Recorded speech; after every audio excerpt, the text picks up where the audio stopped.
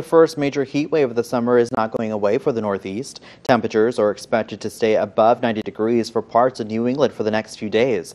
Texas, New Mexico, and Arizona can expect to see temperatures hit triple digits this week. Now, if you plan on being outside, be aware of heat-related illnesses such as heat stroke and uh, exhaustion. Yeah, both conditions are preventable, yet according to the CDC, more than 600 people die every year of these heat-related illnesses. Some signs and symptoms of heat stroke you should be aware of are throbbing headache, red hot or dry skin, muscle weaknesses or cramps, or if you feel nauseous or feel confused.